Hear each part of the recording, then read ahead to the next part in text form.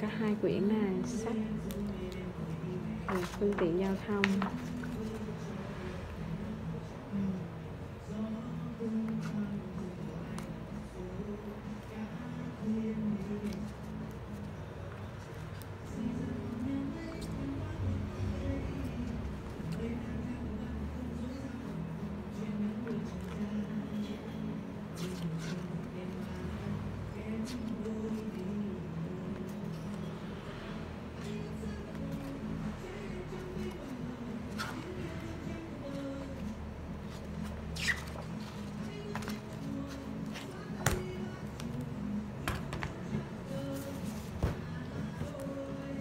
Này, nặng ơ là nặng luôn.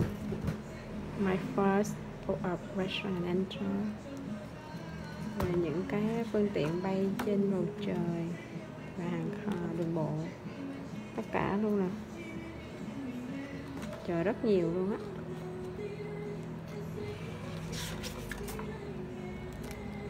Nhà có hỏi đúng sai. Trả lời đúng sai. Không gian nè.